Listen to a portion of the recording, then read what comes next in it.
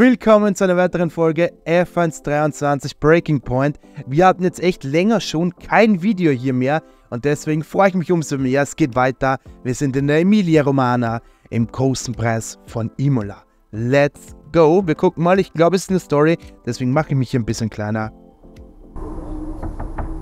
Ja? Du wolltest mich sehen? Ah, da ist er ja. Du bist wirklich nicht leicht zu finden. Gut, dann lass uns doch gleich zur Sache kommen, Devin. Was ist los mit dir? Wovon redest du? Nun, du missachtest nicht nur die Teamanweisungen. Es gibt Gerüchte. Alle sagen, dass du abgelenkt bist und dass du sie komplett ignorierst. Ich sorge dafür, dass das Team gut funktioniert, wie ein Uhrwerk. Also versuche ich nur zu verstehen, was los Ich ist. sagte doch, check den Teamfunk. Das haben wir bereits. Am Funk liegt's nicht. Was ist da los? Gar nichts. Jetzt hör auf damit und sei nicht so respektlos. Okay, Seufzer. ich hab's gehört. Zufrieden? Jetzt besser? Wieso das Ganze? Ist ganz schön viel alles. Der Druck. Die Gerüchte, die seit Monaten kursieren. Komm schon. Du bist Devin Butler. Die Gerüchte kommen doch von dir. Nicht immer wahrscheinlich. Du weißt doch, was sie sagen. Und was sie so Er fährt schreiben. mit Daddys Geld. er fährt mit Daddys Geld. Ich äh, Ja, das können sich einige gerne hören. fang langsam an, an mir zu zweifeln. Okay. Lass uns daran arbeiten. Zum Beispiel könnten wir am Image des Teams was ändern. Das wäre super. Aber in der Zwischenzeit möchte ich, dass du einen Arzt aufsuchst. Nur zur Sicherheit, du hast heute noch einen Termin. Kasper, das passt schon, okay? Jetzt steht erstmal ein Rennen an und ich muss mich konzentrieren. Puh. Na gut, okay. Aber direkt nach dem Rennen wirst du dahin gehen. Alles klar? Ja. Klar. Immerhin ist er vernünftig. Also er ist jetzt da nicht so der Großkrotz. Es kommt mir auch ein bisschen so vor, als ob da wirklich der Druck hoch ist. Ich bin sehr gespannt. Wir sind immer noch Devin Butler und ich glaube, wir gehen einfach zum nächsten Rennen. Ähm, jetzt haben wir die Emilia Romana während des Rennens. Das heißt, wir haben ein Szenario. Ich freue mich extrem und abonniere doch unbedingt gerne den Channel kostenlos. Wenn nichts mehr verpasst, würde mich wirklich extrem freuen, weil Support ist wirklich in letzter Zeit. Vielen, vielen Dank. Ich kann mich da auch kaum irgendwie. Ja, ich will, wir haben immer nur diese F- nicht FaceTime-Videos. Also äh, da freue ich mich wirklich extrem. Und wir gucken mal rein. Okay, Grand Prix der Emilia Romana. Noch sieben Runden zu gehen, das ist gut. Und über uns überholt hier gerade ein McLaren. Das ist nicht so gut. Primäres Ziel ist, den McLaren zu holen. Jetzt sind wir wieder Devon. Ich würde mal sagen, ich freue mich extrem drauf. Let's go, Leute. Schaut doch gerne auf TikTok vorbei. Und wir starten hier rein. Wow.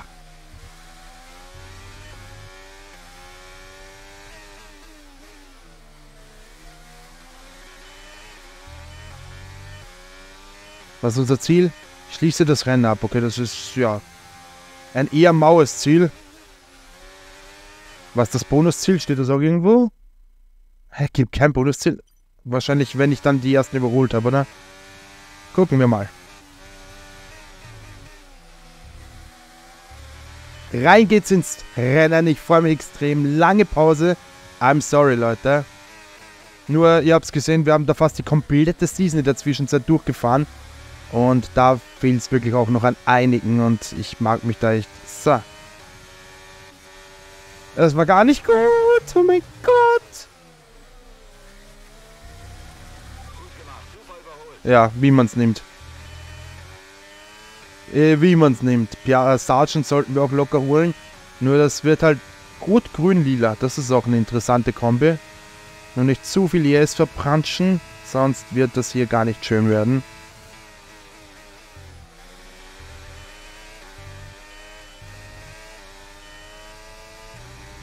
So.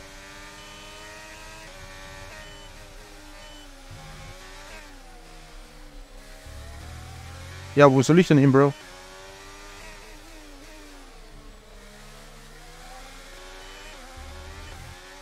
Hä, Hä, jetzt auf einmal so langsam? Wo ist die Base? Achso, ich hab rot. Ja gut, das ist dann natürlich klar. Ja, dann sind Punkte safe drin, oder? Ich bin aber noch gespannt, wo unser Sternchen sein wird. Vielleicht der Teamkollege. Aber es ist viel zu viel, oder? Ich meine, der Teamkollege fährt irgendwo in den Top, Top 6 herum. Das schaffe ich nie im Leben.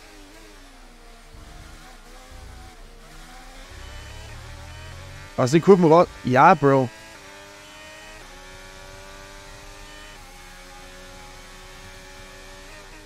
So, das schaut gut aus. Jetzt auch ein Nico vorbei. Auch mit einem, boah, fast Kiesbett hier. Dann nehmen wir das zuerst mit. Wo ist denn der Detection Point? Hier ist er doch erst. Okay, egal. Ich bedanke mich und nehme den mit. 12 Sekunden zum Teamkollegen. Nie schaffe ich den einzuholen. Das wird kaum möglich werden, oder? Walteridge James. Walter. Den sollten wir uns auch easy holen. Da sind wir viel schneller. Aber auch er ist dann nur auf den gelben. Also, ja, da waren wir wieder sehr spät am Scheitel. Äh, das war gar nicht gut.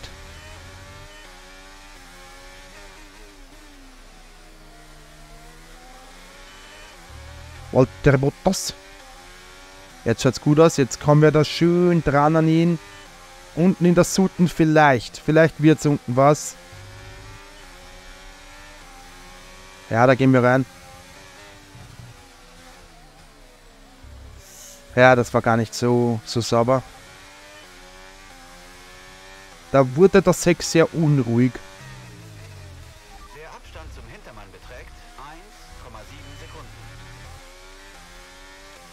Ja, wir haben die schwierigste Schwierigkeit, falls ihr euch fragt, was wir haben.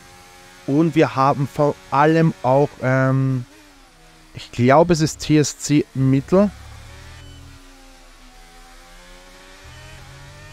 Also es macht auf jeden Fall ordentlich Bock, also wirklich richtig Spaß. Nur ich glaube, dass wir da nie im Leben an unser richtiges Ziel kommen. Ich meine, 12 Sekunden, jetzt ist das ES aus. Mit dem Geschwafel bin ich da immer unkonzentriert. Aber ich spiele mit dem Elite-Controller und der ist viel, viel anders als mein normaler. Ich habe in meinem normalen Gaming-Setup, wo ich so auch untertags normal spiele, eine komplett andere Konsole als hier halt. Das ist halt so ein bisschen das Problem. Also ich habe hier ähm, komplett anderen Controller. Das ist das Problem. Der Serious Controller ist zwar toll, aber das bringt halt alles nichts. Punkte sind auf jeden Fall drin, die 7 Sekunden, das nehme ich mir persönlich als Ziel. Ich glaube, das Rennen nur zu beenden, das wäre halt auch kein richtiges Ziel für mich.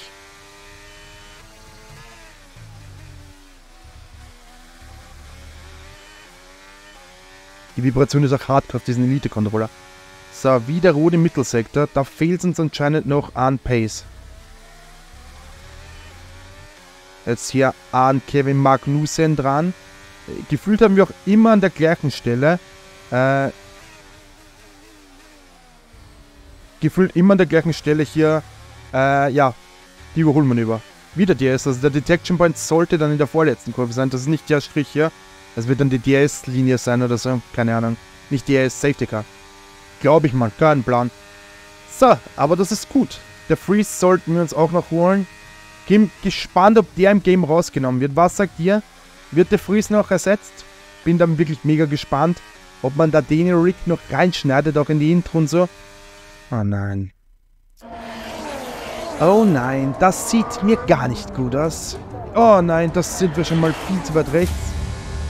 Und der hat wirklich da mentale Probleme. Der Druck oder so zu hoch irgendwas ist da, das merkt man, dass Devin da wirklich jetzt auf einmal so...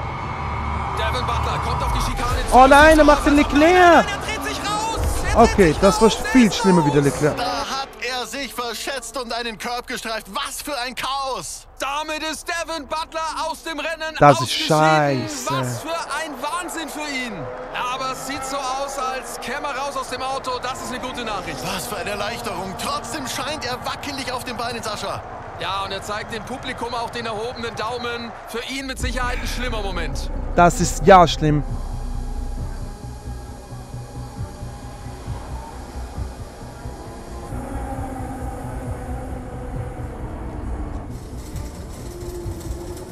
Puh, der ist richtig angefressen, oder? Der ist richtig bedient.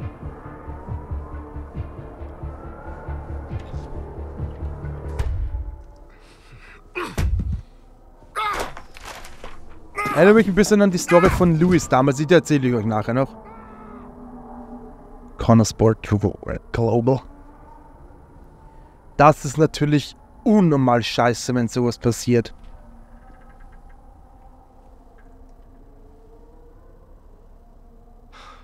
Das war's, Kaspar.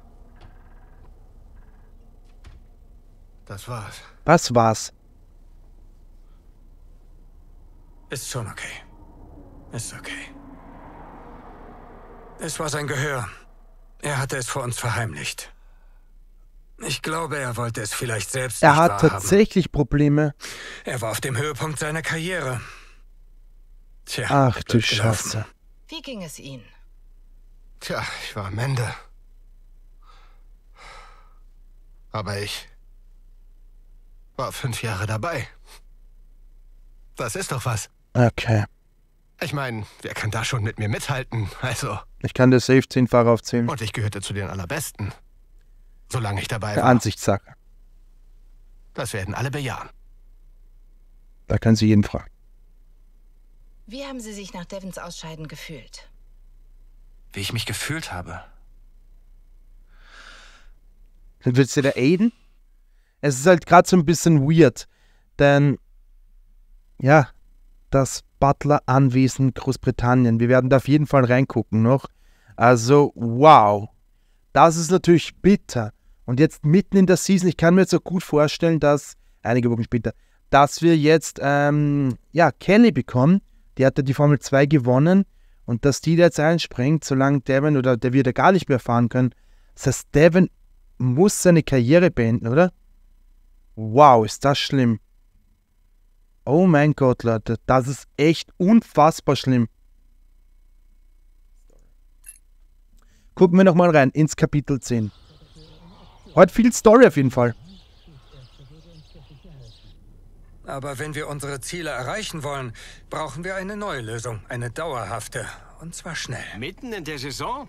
Nein, unmöglich. Ah, bei Alpha Tauri geht's ja auch. In Anbetracht der Umstände, könntest du uns ein wenig Spielraum beim Vertrag einräumen? Ich habe die Prognosen.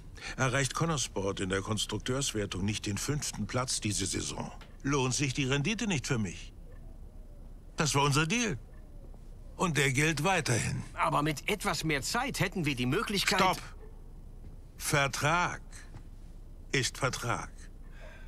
Und dann noch, ohne Devon als Fahrer, haben sich meine Interessen nun allein aufs Business verschoben. So ist das Geschäft. Und was jetzt? Was sollen wir tun? Also, dein Vermächtnis ist dir anscheinend wichtig, Davidoff. Als Vater kann ich das gut verstehen. Wenn also Devin, dein Sohn, nicht mehr fährt, fragen wir deine Tochter. Warum nicht Kelly den Sitz Kelly anbieten? ist seine. Tochter. California wird nicht bei Connorsport unter Vertrag genommen. Kelly ist seine Warum Tochter? nicht? Kelly Myers? Das... Jackson? Hä? Das bringt Ich bin die ein bisschen unter Vertrag nimmt jede Menge kommerzielle Okay. Möglichkeiten. Vergiss das Vermächtnis. Oh. wir werden... Du wirst Geschichte schreiben. Und du würdest einem riesigen Talent den ersten Schritt in die Formel 1 Versteht nicht genau. Kelly nicht ist. bereuen. Okay. Komm, du weißt, dass sie es verdient. Die Tochter, die den Namen ihrer Mutter trägt, um mich zu kränken. Okay. Die ist so ein bisschen verstoßen, oder? Sie würde nie zustimmen. Ah, doch. Überlass das mal nur mir. Das kann ich mir gut vorstellen, denn unter diesem Namen kennt sie ja keiner. Der Deal Steht. steht noch, Ackermann. Fünfter Platz oder ich bin raus. Immer ein Schritt nach dem anderen. Okay? Was für ein Assi. Da ist sein, sein, sein Sohn jetzt äh, behindert in dem Fall, kann nicht mehr aktiv reinfahren und dann macht man das so. Ich bin mega gespannt. Wenn es ein Rennen ist, geht es morgen erst weiter. Aber wir gucken mal rein. Okay, da geht eh nichts weiter. Vielen, vielen Dank. Wir sind jetzt Kaspar Ackermann. Auch eine interessante Sache. Ähm, ja, wir gucken uns dieses, ähm, ja, wir hören uns das noch einmal an hier, was Andreo zu sagen hat. Andreo? Hast du schon mit ihr gesprochen? Ja, wir haben geredet. Und? Und? Was hat sie gesagt? Sie wird dieses Wochenende hier sein. Sie hat zugestimmt, sich mit mir zu treffen. No way, Leute. Du hast sie noch nicht gefragt? Natürlich nicht. Das ist eine heikle Situation. Sie hat sicher eine Ahnung, aber das kann man doch nicht einfach am, Am gleichen fragen, Rennwoche oder? hätte ich uns noch gefragt. Oh mein Gott, Leute. Komm schon, das könnte ihr Leben Das verändern. wird ihr Leben verändern. Und die familiäre Situation muss mit ein wenig Respekt gehandhabt werden. Du kennst sie. Sieh nur zu, dass sie Ja sagt, und zwar schnell. Ich möchte nicht weiter Fragen zur Zukunft von Connorsport beantworten. Ach, ein Teil des Interviews habe ich gelesen. Ich konnte spüren, wie du dich windest. So schlimm? Noch schlimmer. Oh mein Gott, Leute. Ich freue mich extrem. Wir gehen wirklich jetzt noch kurz hier rein. Ich hoffe, es ist eine kleine am Renntag. Also, wir gucken da jetzt auch in Kapitel 10 noch einmal kurz rein. Ähm, es wird heute eine etwas längere Folge, obwohl wir sind erst bei 18 Minuten. Also, das geht schon noch. Das geht schon noch. Gehen wir rein. Nein! Ich will. Ja, das ist der Spanien Grand Prix.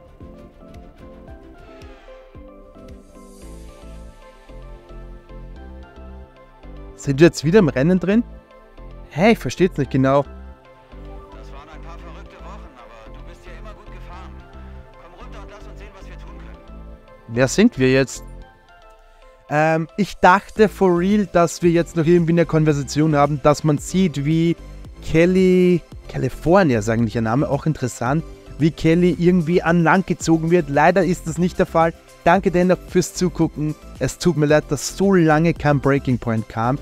Das probiere ich jetzt auch wieder die Woche, die nächsten Wochen komplett durchzuziehen, denn ich habe schon eine neue Idee. Ich möchte eine Einzelspielerkarriere mit ähm, einem Team eurer Wahl start starten. Schreibt es gerne in die Kommentare, ihr dürft dadu- au- dazu auch gerne auf TikTok, Instagram abstimmen. Würde mich gern über eure Anteilnahme freuen. Danke fürs Zugucken. Morgen oder übermorgen geht es dann hier weiter mit My Team. Und schaut gerne auf TikTok vorbei, da wird wirklich viel Stuff von kommen. Also schaut gern vorbei. Bis zum nächsten Mal. Danke fürs Zugucken und ciao.